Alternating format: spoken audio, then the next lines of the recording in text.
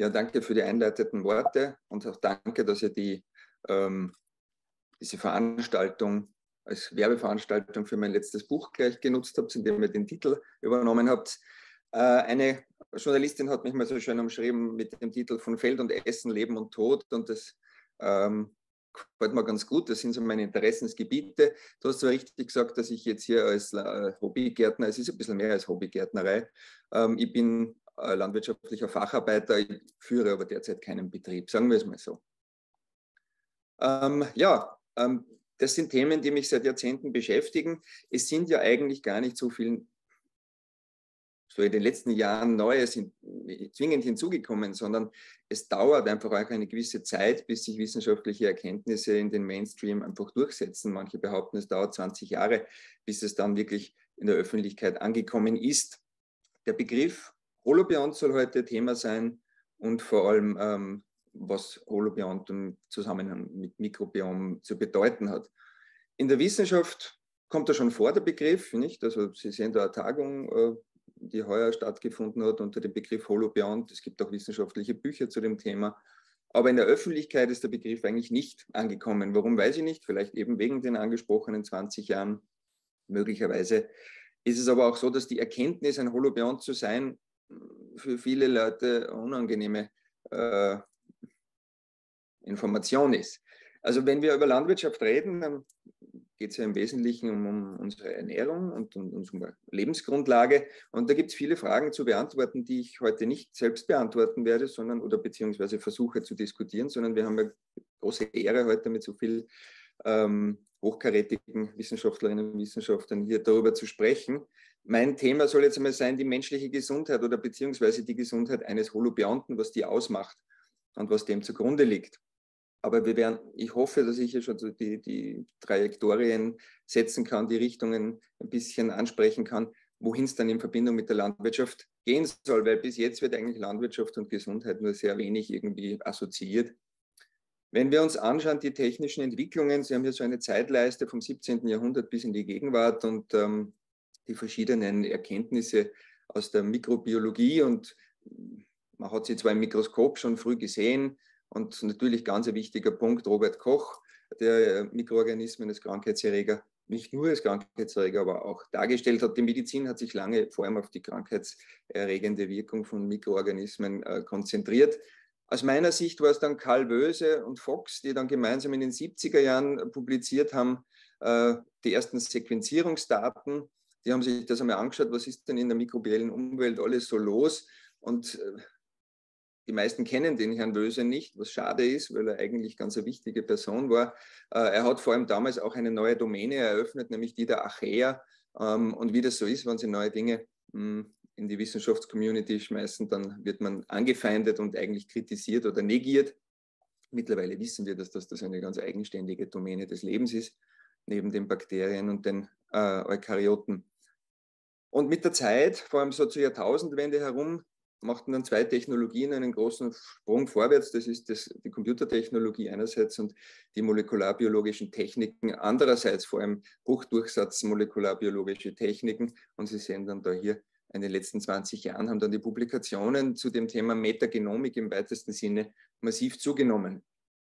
Was hat man dann herausgefunden? Man hat sich irgendwie dann angeschaut, naja, man hat dann irgendwie versucht, alles, was man so finden kann, irgendwo in äh, einen Sequencer zu schmeißen und ist draufgekommen, dass die Großteil, äh, äh, der Großteil des Lebens auf dieser Erde hier, vor allem in der Domäne der Bakterien, zu finden ist.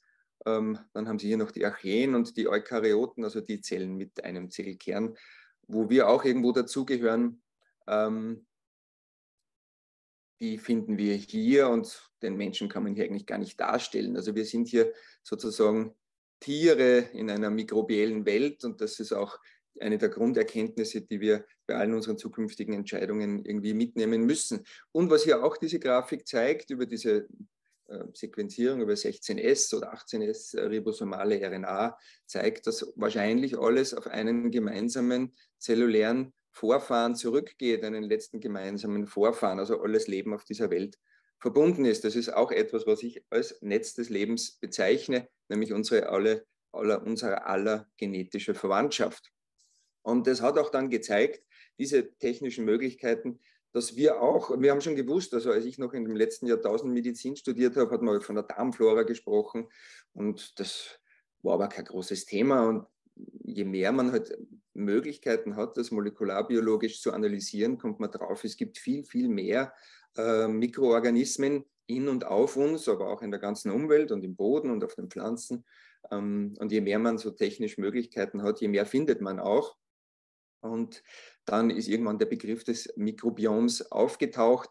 Ähm, was das ist, werde ich gleich nochmal ausführlicher erklären. Das sind also diese Lebensgemeinschaften von Mikroorganismen.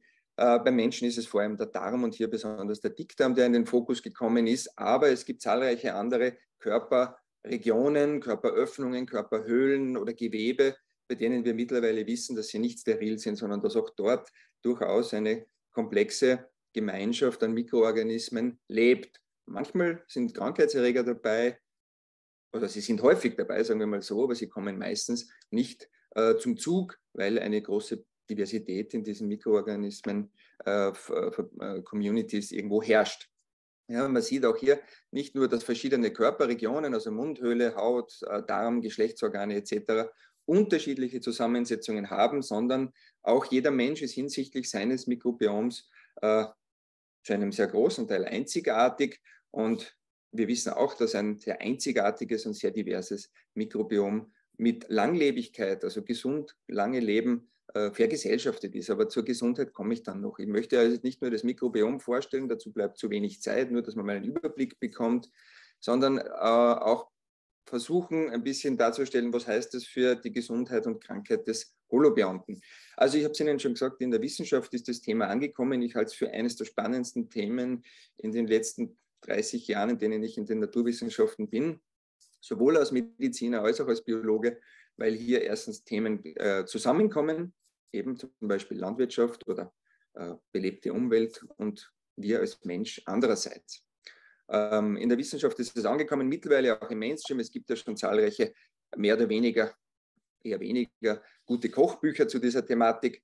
Und ähm, es wird häufig benutzt, der Begriff, aber man hört immer wieder so Verwechslungen, habe ich so das Gefühl, was ist denn wirklich ein Mikrobiom? Ich habe diese, diese, diese Abbildung, diese Folie aus einer Publikation, sagen wir mal, ausgeborgt von den Kollegen Berg und äh, Schloter, die unter anderem hier mitgearbeitet haben, sehr rezent. Und da sieht man sehr schön, was ist denn dein Mikrobiom, beziehungsweise äh, was sind Mikrobiota? Die Mikrobiota, das sind eben die Organismen selbst. Sie sehen, das sind nicht nur Bakterien, das sind eben diese schon angesprochenen Archeen, Pilze, Protisten, also Einzeller, Algen. Und die haben natürlich, man könnte das jetzt sehr mechanistisch einfach betrachten und sagen, ja, das sind einzelne Lebewesen, die haben Lebensgemeinschaften. Erstens einmal ist es so, dass sie in Zeit und Raum extrem dynamische Lebensgemeinschaften bilden. Und zweitens haben sie natürlich, interagieren sie untereinander. Und äh, drittens haben sie Stoffwechselprodukte. Das ist hier unten dargestellt, diese mikrobiellen äh, Metabolite. Äh, wir sprechen hier auch bei der Forschung zu diesen Metaboliten vom Metabolom. Das macht sie eigentlich aus, weil nur ihre Anwesenheit alleine ist schön und gut, aber die, die, chemischen Verbindungen, die sie abgeben, entweder als Produkte oder sagen auch Abfallstoffe, die spielen ja eine ganz große Rolle. Was tun sie denn tatsächlich ähm, enzymatisch zum Beispiel? Und dieses gesamte, also samt diesem äh, Theater of Activity, wie es hier genannt ist, plus diese Stoffwechselprodukte und so weiter und so fort, das zusammen, ähm, auch deren Bestandteile, ja, die haben ja auch sehr, sehr kurze Lebenszyklen, diese Mikroorganismen teilweise. Wenn sie zerfallen, auch deren Bestandteile spielen natürlich eine ganz große Rolle ähm, in der Interaktion mit anderen Lebewesen und im Speziellen eben mit dem Trägerorganismus. Also wir sind als Holobiont der Trägerorganismus für dieses Mikrobiom. Und wie sieht es zahlenmäßig aus? Die Zahlen werden immer wieder unterschiedlich kolportiert. Man hat lange Zeit gesagt 1 zu 10, also sprich menschliche Zellen, Körperzellen äh, verhalten sich zu den besiedelnden Mikroben wie 1 zu 10. Das heißt, wir werden nur zu einem Zehntel Mensch. Es sind immer so Schätzungen und Berechnungen. Ist auch die Frage, ob wir die roten Blutkörperchen, die ja großteils äh, keinen Zellkern haben, äh, mit einbeziehen in diese Rechnung oder nicht. Wie dem auch sei, eine sehr konservative Schätzung zeigt uns, dass wir weniger als die Hälfte zahlenmäßig äh, Eukaryoten sind. Der Rest ist in allen unseren äh, Körperöffnungen und im Inneren und auf dem Äußeren von in etwa 39 Billionen Bakterien besiedelt. Also wir sind weniger, als wir glauben, zahlenmäßig. Die sind natürlich relativ klein, dadurch fällt uns das jetzt nicht wirklich auf. Spannend wird es dann erst wirklich, wenn wir es auf genetischer Ebene uns betrachten, weil die Gene sind ja mehr oder weniger der Blueprint, die Blaupause für das Potenzial, für das äh, Stoffwechselpotenzial von Lebewesen. Und seit dem Human Genome Project, man hat das ja um die Jahrtausendwende da einmal dargelegt oder begonnen, sich anzuschauen, wie viel Gene hat der Mensch, 20.000 bis 23.000 Gene, die waren sehr enttäuschend. Enttäuschend ist auch, dass man darauf gekommen ist, dass eigentlich viele Krankheiten gar keine genetische oder keine sehr signifikant genetische Grundlage haben. Und jetzt kommt man drauf, dass äh, in dieser mikrobiellen Community in und auf uns, äh, ja, sagen wir über 100.000, sagen wir Millionen Gene existieren. Warum sage ich das so unscharf? Weil das wahrscheinlich eine gewisse Variabilität aufweist, dieses äh, Metagenom. Interessant ist die Publikation, die hier einmal sich ähm, mehrere Proben genommen hat, und zwar von 3655 äh, Proben von zwei Körperstellen, nämlich Mundhöhle und Darm. Und da ist man dann drauf gekommen, und da waren die selbst erstaunte Autoren, dass fast 46 Millionen nicht redundante Gene gefunden wurden. Ja, zwar nicht in einer Person, aber in vielen verschiedenen ähm, ähm, Probanden. Das heißt, also das genetische Potenzial und die genetische Vielfalt von Mikroorganismen ist also enorm. Und wir reden hier jetzt nicht vom Boden oder sonst was, sondern das ist jetzt hier nur bezogen auf das menschliche Mundhöhlen- und Darmmikrobiom. Also da ist ganz schön was los. Äh, es wird auch geschätzt, dass das nicht alles ist. Also diese 46 Millionen da äh, sind vielleicht in Wahrheit 200 Millionen verschiedene ähm, nicht redundante genetische Eigenschaften. Welche das sind, äh, ist ganz unterschiedlich, unter anderem auch Antibiotikaresistenzen, die wir genetisch kodiert finden, zu denen komme ich gleich noch.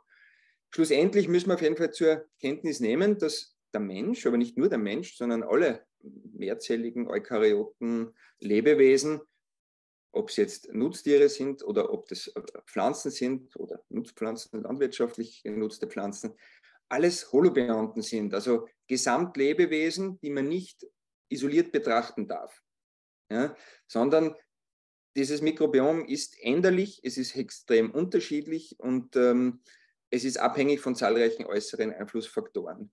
Und es ist, und das komme ich jetzt vor allem dazu, ist es extrem mit unserer Gesundheit oder unserer, unserem Risiko für manche Krankheiten verbunden. Wo sitzt das jetzt im Darm, wenn wir uns das jetzt ein bisschen genauer anschauen, sehr abstrakt dargestellt? Ähm, es ist hier jetzt leider der Dünndarm gewählt, aber der Dickdarm schaut ein bisschen anders aus. Aber dennoch, der Darm ist eine, durch seine Auffältelungen eine massive Oberflächenvergrößerung. Hier finde ich dann spannend, wenn wir uns das Wurzelmikrobiom später dann anhören werden. Auch die Wurzeln sind sehr ähnlich konstruiert durch ihre Oberflächenvergrößerung. Und was vor allem auffällt, ist, dass hier an dieser Grenzfläche eine Schleimschicht äh, existiert an unserem Darm.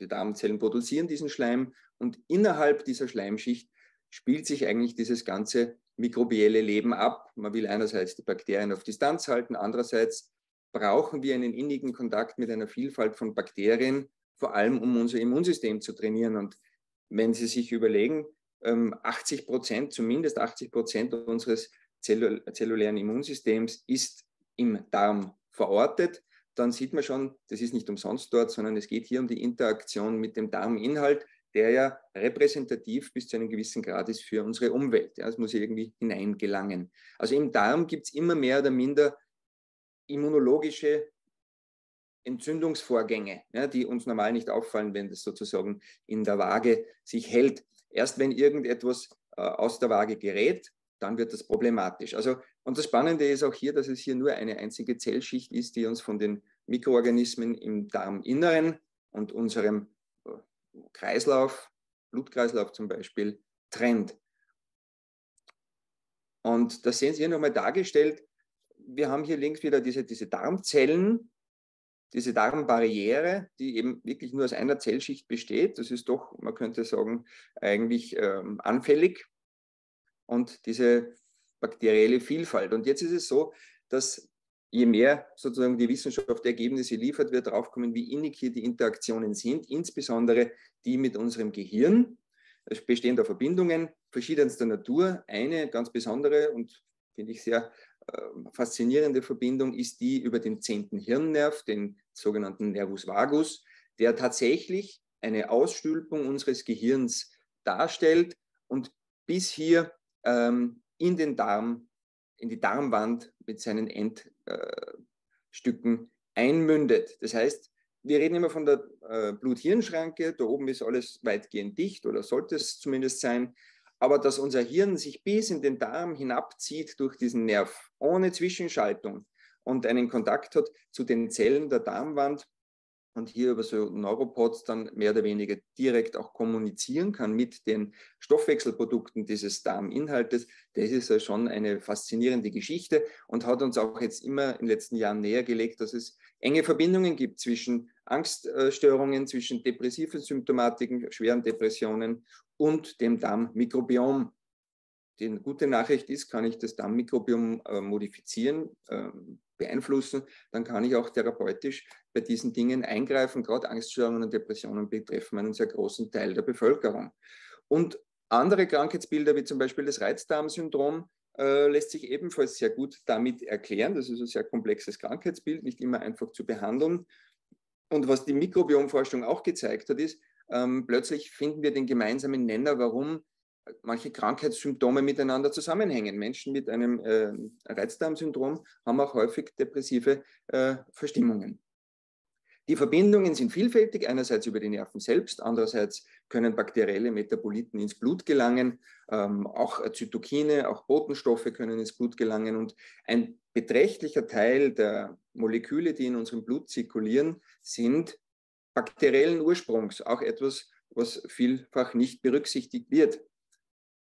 Problematisch wird es erst dann, das ist hier nur schematisch mal dargestellt, an dem Beispiel der Antibiotikabehandlung, die ist, glaube ich, sehr logisch, dass die, wenn sie sich gegen Bakterien richtet, hier Verschiebungen und Unheil anrichten kann im Bereich der Darmflora und es hier zu einer Störung dieser Darmbarriere kommt. Ja, die Darmbarriere besteht ja nicht nur aus diesen Zellen, sondern auch aus dem gebildeten Schleim und aus den dort ansässigen Mikroorganismen.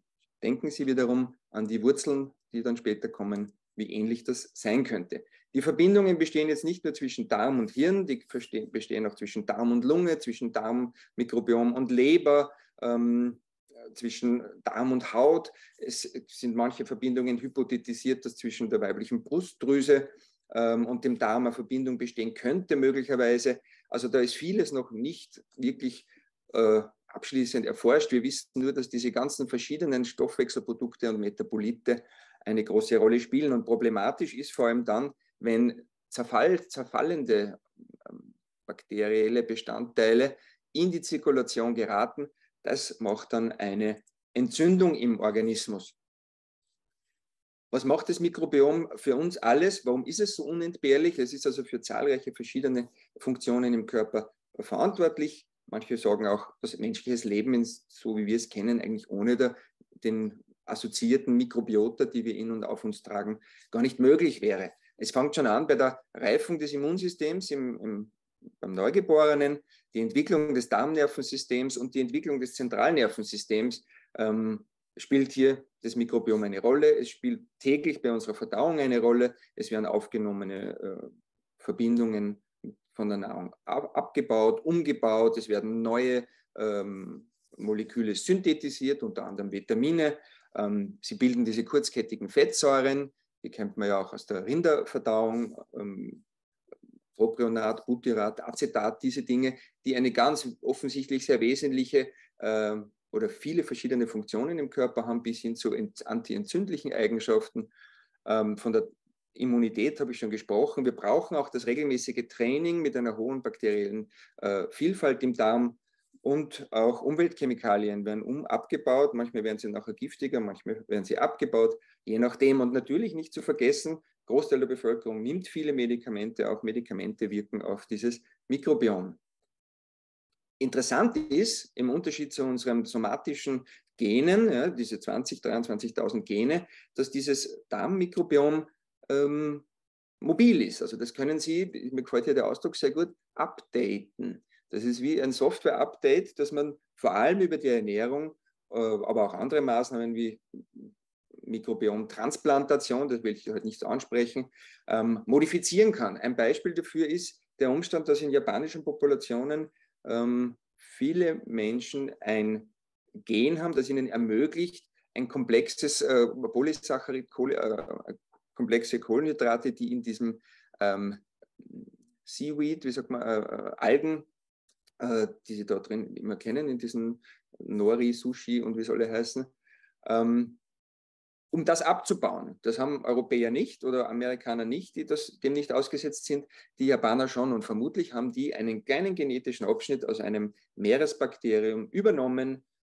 Und somit haben sie eine neue erworbene Eigenschaft, nämlich sie können das besser aufspalten. Und, und das ist natürlich etwas, was dann schon in Richtung Lamarck'sche äh, Theorie der Evolution geht, sie können diese erworbenen Eigenschaften auch weitergeben an die nachfolgende Generation. Also dieser Holobiont ist fähig zu einem Update. Das sollte mal die Message sein. Ähm, wesentliche Kontakt zur Umwelt ist eben unsere Ernährung. Das Ganze bildet sich über, ab der Geburt so heraus, dieses äh, Mikrobiom. Ich beziehe mich jetzt vor allem auf das Darmmikrobiom. Und da gibt es natürlich schon viele Einflussgrößen, die das Ganze in die positive oder negative Richtung lenken können.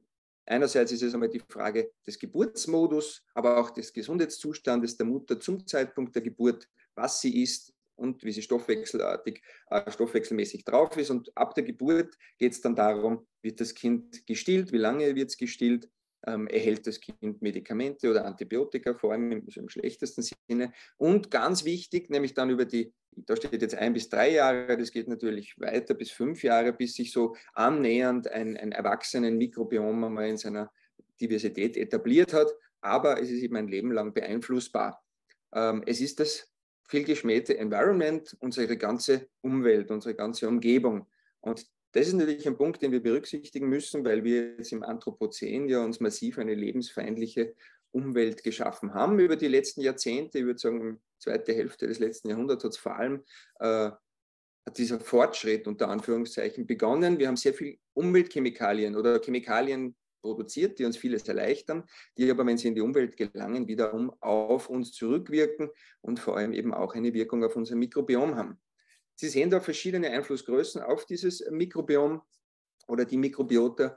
Ähm, auf alles kann man hier nicht eingehen. Natürlich spielt der Stress und der zirkadiane Rhythmus, Schlaf, Wach und so weiter eine Rolle, denn auch Schlafmangel führt dazu, dass sich das Darmmikrobiom verändert.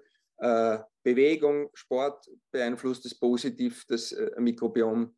Ähm, und negativ, ich glaube, das ist selbstredend, sind es die Antibiotika, äh, die falsche Ernährung und Umweltchemikalien. Ich habe deswegen einen Pfeil dazu gemacht, weil das die Dinge sind, die man vielleicht auch in der Form unserer gegenwärtigen landwirtschaftlichen Praxis, Schrägstrich Ernährungspraxis, vor allem berücksichtigen müssen. Eine, ein Begriff, der in den letzten Jahren äh, massiv Aufmerksamkeit bekommen hat, auch wieder eher in der Wissenschaft als im Mainstream, ist das sogenannte Exposom. Nachdem sich herausgestellt hat, dass unsere Gene selbst nur bei den meisten Krankheiten, abgesehen jetzt von reinen Erbkrankheiten, nur bedingt eine Rolle für, das Krank, für die Krankheitsentstehung spielen, ähm, ist man drauf gekommen, naja, es eine, hängt davon ab, wie diese Gene überhaupt abgelesen werden. Und das ist die Domäne der Epigenetik und das Ein- und Ausschalten, sage ich jetzt ganz vereinfacht, von Genen. Das ist da hier äh, mit in, in, diesem inneren Kreis dargestellt. Und was uns tatsächlich krank macht, ist das sogenannte Exposom, also Exposure, das ausgesetzt sein oder exponiert sein gegenüber zahlreichen äh, Umwelteinflüssen über lange Zeiträume. Und da sehen Sie, was hier alles äh, hinzukommt. Auch hier wiederum möchte ich mich vor allem eben jetzt auf das Mikrobiom, Mikrobiota, ähm, auf, den, auf die Lebensweise, ob Stadt oder Land, und auf die Ernährung dann noch ein bisschen konzentrieren. Aber das sind tatsächlich die Dinge, die über lange Zeit auf einen Organismus einwirken und darüber entscheiden, ob ein genetisches Risiko sich manifestiert oder eben nicht. Und was diesen ganzen sogenannten Zivilisationskrankheiten zugrunde liegt, ist eine niederschwellige chronische Entzündung. Sie sehen das hier dargestellt als zentraler Player. Das ist eine Abbildung aus Nature Medicine, die ich da modifiziert habe. Und das sind die Ursachen und da sind keine großen Überraschungen dabei. Ja, von diesen äh, äh, Umweltchemikalien, Schlafstörungen, äh, Stress und soziale Isolation, falsche Ernährung, die dann eben auch damit verbunden ist mit Übergewichtigkeit. Und hier ein, diesen viel strapazierten Begriff der Darmdysbiose. Also da ist Dys heißt irgendwie fehlreguliert, da stimmt irgendwie die Zusammensetzung nicht, vielleicht ist die Diversität reduziert oder haben manche nicht erwünschten ähm, Mikroorganismen die Oberhand.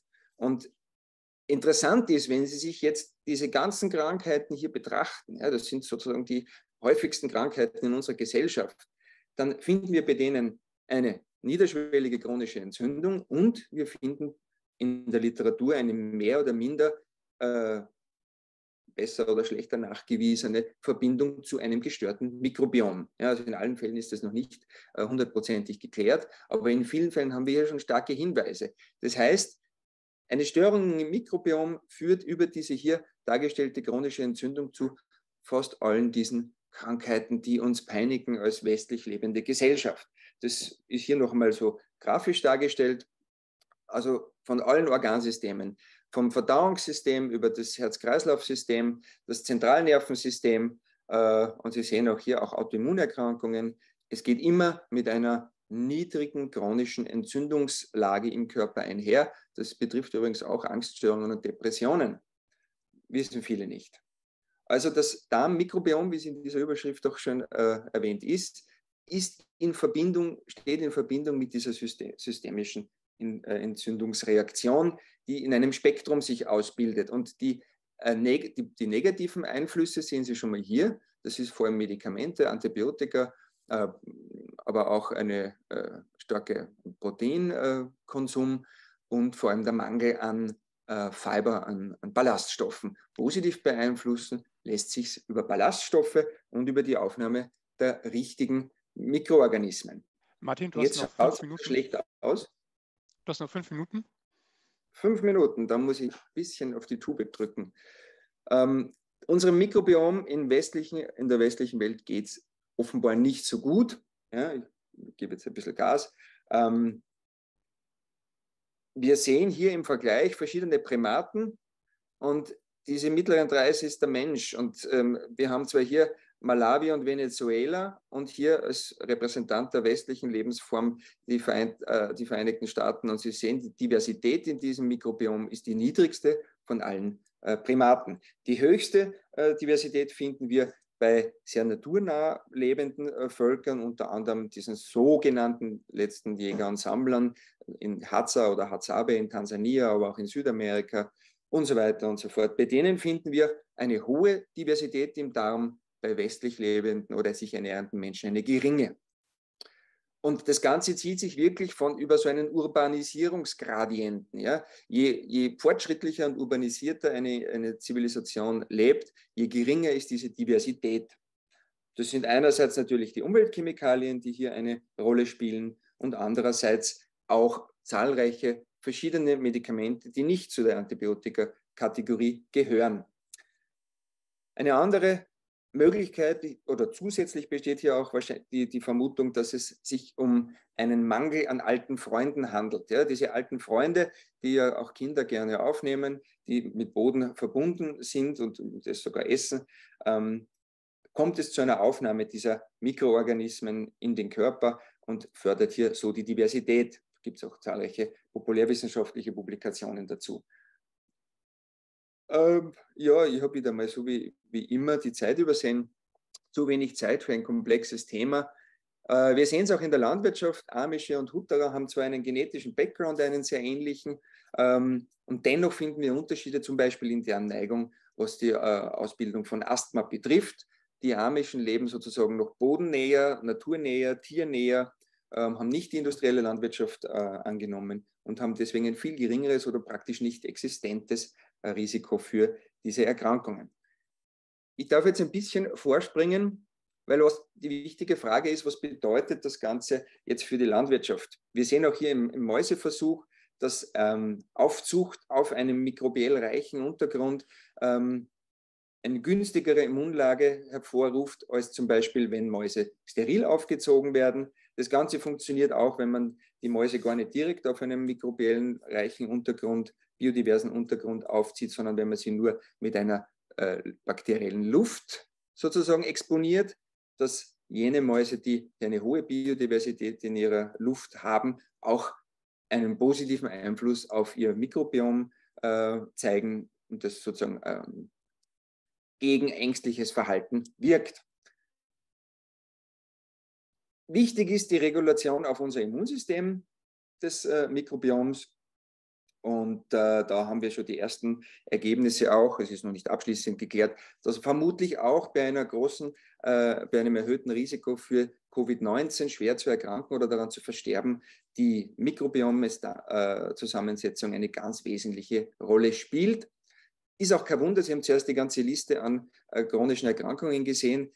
Viele davon sind ja als Risiko, als, Grund, als, als, als High-Risk-Grunderkrankungen für einen schweren Verlauf äh, zu sehen. Zugrunde liegt das unsichtbare Netz des Lebens, das Mikrobiom. Und wir haben auch in großen Studien gesehen, dass eine suboptimale Ernährung weltweit für mehr Todesfälle verantwortlich ist äh, als jedes andere Risiko. Und wenn wir uns die Ernährung anschauen, ich habe jetzt dazu wenig Zeit, dann müssen wir eben über die richtige Ernährung reden. Und da sehen wir schon, der Ernährung fehlt es vor allem an Spurenelementen, an Mineralstoffen. Wir sprechen hier vom verborgenen Hunger, vom Hidden Hunger, wie er auch heißt wir müssen uns dann die Frage stellen, wie kommen denn Spurenelemente, Mineralstoffe in unsere Lebensmittel, wenn wir über Landwirtschaft reden? Und eine gesunde Ernährung ist nicht nur energieausreichend an Kalorien und hat nicht nur die Nährstoffe drinnen, sondern eine gesunde Ernährung, die muss, die sollte sehr divers sein, sehr vielfältig sein, aus verschiedenen äh, Lebensmittelgruppen äh, zusammengesetzt sein. Und der simple Grund dahinter ist, unser Mikrobiom liebt sekundäre Pflanzenstoffe. Unser Mikrobiom liebt, oder vor allem die positiven äh, Mitspieler in dieser Gemeinschaft lieben äh, Ballaststoffe. Und das so sollte unsere Ernährung ausschauen. Und es ist keine große Überraschung eigentlich. Lange haben wir, wir kommt immer wieder zum Alten zurück. Es sind die klassischen alten Ernährungstraditionen, die genau diese Vielseitigkeit, diese abwechslungsreiche Ernährung bieten. Sie sind meistens pflanzenbasiert, sie sind meistens natürlich saisonal gewesen, sind es auch heute eben noch. Ähm, aber ganz wichtig für das Mikrobiom in der Ernährung ist, es muss frisch sein, weil wir werden ja dann sehen, dass in den ganzen Blättern und in den Wurzeln überall äh, Bakterien sitzen und es sollte weitgehend chemiefrei sein, weil diese chemischen äh, Verbindungen einen negativen Einfluss auf unser Mikrobiom haben. Das heißt, die Ernährung und das Mikrobiom Bindeglied zwischen Landwirtschaft und Mensch. Und es gibt schon die ersten äh, Fallkontrollstudien hier. Man hat sich angeschaut, wie schaut es denn aus? Äh, Menschen, die sich vor allem pflanzenbasiert ernähren, ähm, äh, im Vergleich zu anderen, zu Vergleichspopulationen. Und da sieht man hier eine rein pflanzliche Ernährung führt zu 73 Prozent Reduktion von äh, mittelschwerer bis schwerer Covid-19-Erkrankung äh, in dieser Kohorte und hier nur als Fallkontrollstudie. Aber es sind Hinweise in die richtige Richtung. Und vor allem diese Phytochemikalien äh, in den Pflanzen, Polyphenole, sekundäre Pflanzenstoffe, sind es, die das offensichtlich eine Wirkung einerseits aufs Mikrobiom haben und andererseits dieses Mikrobiom äh, diese Pflanzenstoffe auch umwandelt in irgendwelche anderen Metaboliten, die anscheinend für uns gesund sind. Das heißt, wir brauchen auch, wenn wir von Landwirtschaft reden, ein, ein Produkt, das reich ist an sekundären Pflanzenstoffen, an Phytochemikalien komme schon zum Schluss. Unter diesen Aspekten muss man natürlich solche traditionellen äh, Geschichten wie ayurvedische Medizin oder äh, Kräutermedizin neu äh, sich anschauen, weil vermutlich deren Wirkung, die ja schon Jahrhunderte bekannt ist, ähm, auf einer Modifikation, auf einen gewissen Einfluss der mikrobiellen Zusammensetzung in unserem Darm vermutlich wirkt. Und auch für die Städteplanung muss man wieder berücksichtigen, dass der Mensch eben nicht nur äh, abstrahiert ein Lebewesen äh, aus seinen Körperzellen ist, sondern ein Holobiont. Wir brauchen also eine holobiontengerechte Städteplanung und eine holobiontengerechte Landwirtschaft, um viele unserer Probleme, nämlich ein überlastetes Gesundheitswesen und sicher weiter anstehende Pandemien, besser bewerkstelligen zu können. Das alles miteinander verbunden ist, sehen Sie in dieser übernommenen Abbildung aus einer Publikation ich habe sie nur übersetzt. Noch einmal, die, die, die Message ist, als Holobionten sind wir Tiere in einer mikrobiellen Welt und Mikroben kennen keine Grenzen. Ja, die sind über die Luft genauso zu verbreiten und Resistenzen, die im Boden zu finden sind, finden sich über kurz oder lang auch irgendwann im Krankenhaus wieder. Das heißt, Umwelt und unser äh, Organismus sind einfach aus Sicht der Mikroben äh, da gibt es keine Grenzen, sondern das ist alles offen. Und spannend wird es dann, wenn wir uns sowohl die Pflanzensphäre als auch die Boden, äh, das Bodenmikrobiom, die Rhizosphäre anschauen in Verbindung mit dem Grundwasser, wie alles miteinander zusammenhängt. Auch unsere Art und Weise, wie wir Nutztierhaltung betreiben. Damit sage ich danke. Ich entschuldige mich, dass ich jetzt so schnell war, aber ich glaube, für einen guten Überblick und als Diskussion für alles, was weiter folgt, äh, war genug dabei. Vielen Dank. Ja, danke dir, Martin, für den kurzen, aber doch sehr umfangreichen Überblick, den du uns da gegeben hast. Ähm, ja, das Thema ist einfach viel zu umfänglich, als wenn man das in einer halben Stunde ähm, abtun könnte, beziehungsweise eine Stunde ist da ja auch schon zu wenig. Aber versuchen das ja dann dennoch irgendwie im Rahmen des Formates hinzubekommen. Und ich denke, da hast du schon einen ganz guten Punkt und einen ersten guten Aufschlag gemacht. Wir haben noch ein paar Minuten Zeit und ich würde dir gerne noch ein paar Fragen aus dem Chat stellen. Und zwar der Robert Strauch fragt, was macht denn jetzt eigentlich ein gestörtes Mikrobiom aus? Du hast es etwa schon, schon beschrieben. Also kann man quasi isoliert ein gestörtes Mikrobiom beschreiben oder brauchst dazu immer den Menschen auch, um festzustellen, wie wirkt jetzt dieses Mikrobiom auf ihn? Ähm, kann man da verallgemeinerbare Aussagen stellen? Ja, das ist eine sehr gute Frage und eine, die natürlich die Medizin sehr interessiert. Es wäre schön, einen einfachen Test zu haben und sagen, das ist hier eine ein gestörtes Mikrobiom. Also wissen wir, was wir jetzt geben müssen dafür. Ähm, es ist einfach zu sehen, wenn ein Mikrobiom äh, oder ein, eine, eine, ein, ein Darmflora so aus dem Gleichgewicht kommt, dass einzelne äh, Infektionserreger massiv die Oberhand bekommen. Ja? Das ist zum Beispiel Clostridium difficile, wenn das überwuchert, dann haben wir schwere äh, Entzündung des Darmes, das kann tödlich verlaufen, sind leider auch noch oft resistent. Aber für den Durchschnittsbürger, der jetzt keine konkrete Diagnose hat, sondern halt manchmal eher sozusagen Befindlichkeitsstörung hat, sich vielleicht ein bisschen depressiver fühlt, am nächsten Tag nicht oder abgeschlagen, schwach, antriebslos ist, da liegt auch oft eine sogenannte Dysbiose zugrunde, aber das lässt sich dann gar nicht so leicht ähm, an einzelnen Bakterien dingfest machen. Es gibt so sogenannte Keystone Species, also das sind besonders wichtige Arten, die im Mikrobiom vorhanden sein sollten, damit es seine antientzündliche und sonstige Wirkungen erfüllen kann. Ähm, auch denen kann man schon schauen, aber es ist durchaus kritisch zu sehen, es werden ja häufig so Mikrobiomanalysen angeboten, dann bekommen Sie einen Befund, wo nur einzelne Bakterien aus diesem großen, komplexen inneren Ökosystem dann dargestellt sind und das ist auch nur deren Zusammensetzung. Wir haben aber heute gehört, es geht ja auch um deren Funktion. Was tun sie denn tatsächlich? Und da wird die Sache dann einigermaßen komplex. Also vielleicht wird in Zukunft das einfacher werden, aber so einfach zu sagen, das ist eine Dysbiose, das nicht. Äh, und da gibt es einen einfachen Test dafür, das ist schwierig. Ja. Die Andrea Beste fragt nach der Rolle von Zusatzstoffen in hochverarbeiteten Nahrungsmitteln. Kannst du da was dazu sagen? Ja, das habe ich nicht angesprochen, aber das ist ganz wichtig. Also es, es geht hier nicht nur um landwirtschaftliche Primärproduktion, sondern natürlich das, was die Lebensmittelindustrie daraus macht. Und da gibt es interessante Publikationen mittlerweile dazu, dass eigentlich, also erstens zugelassene und zweitens bis jetzt als harmlos geltende ähm, Zusatzstoffe schlussendlich aber für die mikrobielle Zusammensetzung oder für diese Darm-Schleimhautbarriere äh, negative Effekte haben. Also das sind zum Beispiel äh, Maltodextrin, ja, Carboxymethylcellulose als Emulgator. Äh, die führen zu Störungen einerseits in dieser Schleimschicht und möglicherweise auch in Verbindung also von diesen bakteriellen Communities.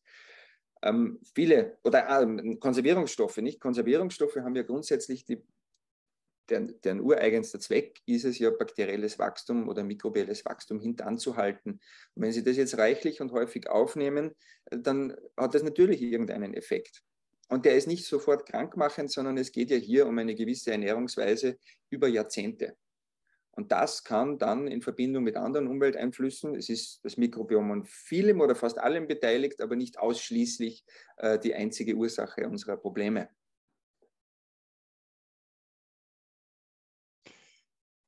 Ja, danke soweit. Eine letzte Frage würde ich dir noch stellen, ähm, und zwar von der Selina. Sie befragt nämlich, wie beeinflusst ein gestörtes Mikrobiom unsere Ernährungs- Vorlieben. Du hattest ja auch gesagt, das äh, ändert dann unsere Gefühlslagen, hat da einen Einfluss darauf, im Sinne von, wenn ich die ganze Zeit mich schlecht ernähre, kultiviere ich das entsprechende Mikrobiom und wenn ich das irgendwie ändere, ähm, dann braucht das eine Zeit lang, bis sich das wieder adaptiert. Also wenn wir uns jetzt für einen kurzen Moment in die Rolle des Mikrobioms versetzen und wir jetzt in diesem Trägerorganismus Mensch leben, dann wollen wir ja ein bisschen mitbestimmen, was der aufnimmt, weil das ist ja sozusagen unsere Nahrungsmittel, Nahrungsmittellieferung, die dann oben reinkommt. Und Sie haben ja schon gesehen, die, die Verbindung zwischen dem Hirn und unserem Darm ist eine sehr enge. Und es scheint so zu sein, dass das Mikrobiom, ein bisschen vereinfacht gesagt, unser Belohnungssystem gehackt hat und hier unsere Vorlieben auch steuern kann. Da gibt es erste Ergebnisse und Erkenntnisse in diese Richtung, dass äh, unser Darmmikrobiom uns diktiert, was wir denn essen. Das könnte auch die Ursache sein, warum wir den einen oder anderen Heißhunger einer Lebensmittelgruppe gegenüber verspüren und am nächsten Tag gar nicht. Ähm, das spielt eine Rolle, aber es ist weit davon, so konkret verstanden zu sein, äh, dass man sagt, da können wir schnell eingreifen. Aber man merkt also, jeder von von uns, der schon mal sozusagen von einer schlechten Ernährung oder zu stark fleischlastigen Ernährung sich langsam aber sicher einer pflanzenbasierten, das heißt ja nicht, dass sie fleischlos ist, aber pflanzenbasiert, breitflächig pflanzenbasiert ist, äh, gewidmet hat, merkt auch eine Veränderung in seiner Lebensmittelpräferenz. Ja, und das ist, das ist eine spannende Geschichte. Ja, also unsere Vorlieben werden zu einem gewissen Teil, auch unser Verhalten allgemein wird vom Mikrobiom gesteuert.